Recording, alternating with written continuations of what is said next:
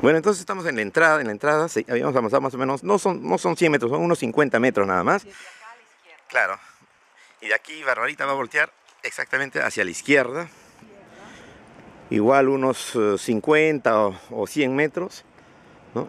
Y acá está, dice Avenida du Nord, Avenida del Norte, tercera división. Entonces, entramos a la izquierda. Ahorita estamos ya caminando hacia la izquierda.